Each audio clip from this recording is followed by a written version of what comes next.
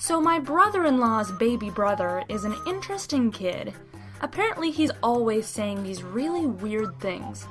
His mom was telling me about the most recent instance, which happened during a car ride. He had been sitting in the back of the car, staring out the window really quietly while making a super angry face.